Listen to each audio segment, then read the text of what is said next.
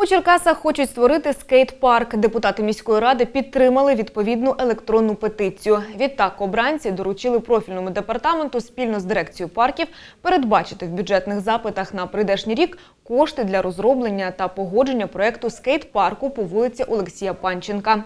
Свої за віддали 22 обранці. Нагадаю, відповідний проєкт подавали до громадського бюджету, та тоді ініціативу молоді не підтримали.